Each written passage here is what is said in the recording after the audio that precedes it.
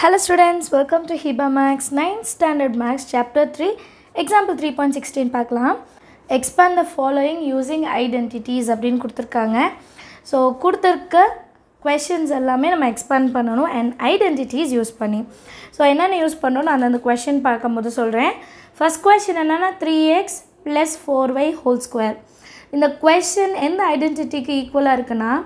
A plus B whole square A plus B whole square A plus B whole square formula என்னென்னா A square plus two AB plus B square இப்போ compare பண்ணுங்கள் A இடத்துல three x இருக்குது B இடத்துல four y இருக்குது ஓகேவா இந்த ஃபார்முலாவில் இதை சப்ஸ்டியூட் பண்ணால் போதும்.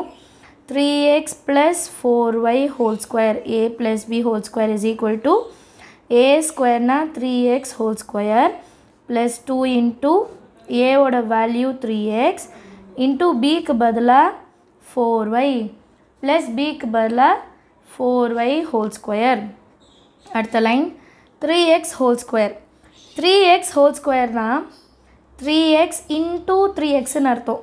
இப்போ three three are nine x ரெண்டு இருக்குது so x square nine x square plus two threes are six six fours are twenty four ஒரு எக்ஸு ஒரு ஒய் இருக்குது அது அப்படியே எழுதிடுங்க.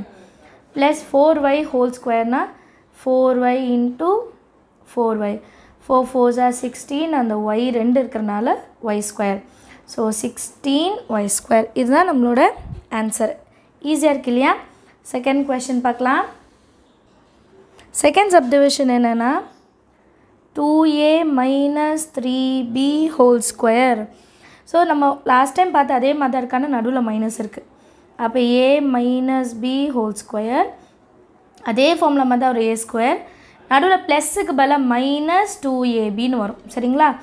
ப்ளஸ் பி ஸ்கொயர் அப்படியே தான் இருக்கும். இப்போ ஏ இருக்கிற இடத்துல டூ ஏ இருக்குது பி இருக்கிற இடத்துல த்ரீ பி மைனஸ் எழுதக்கூடாது. வெறும் த்ரீ பி தான் எழுதணும். ஃபார்முலாவில் சப்ஸ்டியூட் பண்ணலாமா? Two A minus three B whole square is equal to A இருக்கிற இடத்துல டூ ஏ அதுக்கு ஒரு square minus two into A இருக்கிற இடத்துல டூ ஏ பி இருக்கிற இடத்துல த்ரீ பி ப்ளஸ் பி இருக்கிற இடத்துல த்ரீ பி அதுக்கு ஒரு ஸ்கொயர் இது வந்து த்ரீ மேலே எழுதிக்கலாம். இப்போ டூ ஏ ஹோல் ஸ்கொயர் என்ன two A into two A இப்போ two twos are four A மேலே ஒரு two minus two twos are four four threes are twelve A இருக்குது பி இருக்குது ப்ளஸ் த்ரீ பி ஸ்கொயர் அப்போ three into three nine B மேலே ஒரு square டைரெக்டாக எழுத தெரியலனா த்ரீ பி இன்ட்டு த்ரீ பின்னு எழுதிட்டு எழுதுங்க. டூ ஏ இன்ட்டு டூ ஏன்னு எழுதிட்ட பிறகு கூட எழுதுங்க. சரிங்களா? எப்படி நமக்கு ஈஸியாக தெரியுமோ அந்த மாதிரியே ஃபாலோ பண்ணிக்காங்க.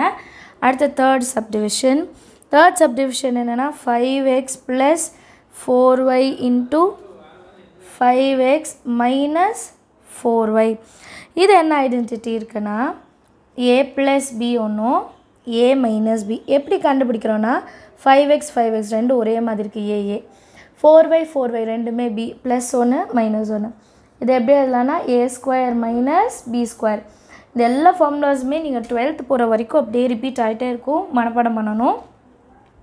ஏ இருக்கிற இடத்துல ஃபைவ் எக்ஸ் பி இருக்கிற இடத்துல four y so five x plus four y into five x minus four ஒய்னா A இடத்துல ஃபைவ் எக்ஸ் அதுக்கு ஒரு ஸ்கொயர் மைனஸ் பி இருக்கிற இடத்துல ஃபோர் அதுக்கு ஒரு square five x whole ஸ்கொயர்னா five x into five x five five twenty five ரெண்டு x இருக்கிறனால x square so twenty five x square minus four y into four y four four sixteen ரெண்டு y இருக்கிறனால y square so minus என்ன எழுதணும்?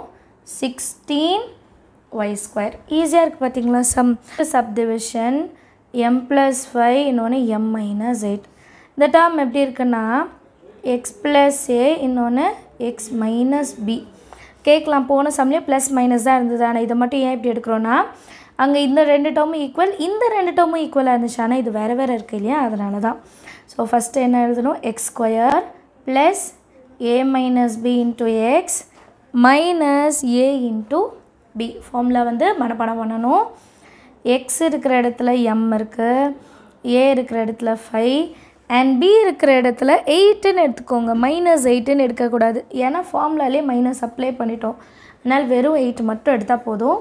இப்போ M plus five into M minus eight expansion எப்படி இருக்கும்? X இருக்கிற இடத்துல M M square plus A இருக்கிற இடத்துல ஃபைவ் மைனஸ் பி இருக்கிற இடத்துல எயிட் எக்ஸுக்கு பதிலாக எம் மைனஸ் ஏ இருக்கிற இடத்துல ஃபைவ் பி இருக்கிற இடத்துல எயிட் ஓகேங்களா? அடுத்த line M square five minus eight three and பெரிய நம்பருக்கு மைனஸ் இருக்கனால minus three M minus eight five are forty ஈஸியாக இருக்கு இல்லையா? ரொம்ப ஈஸியான செம்ம ஆனால் நீங்கள் வந்து எல்லா ஃபார்முலாலையும் மனப்பாடம் பண்ணணும். சரிங்களா? எல்லாருக்கும் அண்டர்ஸ்டாண்ட் ஆயிருக்கும்னு நினைக்கிறேன். தேங்க்யூ ஸோ மச் ஃபார் வாட்சிங்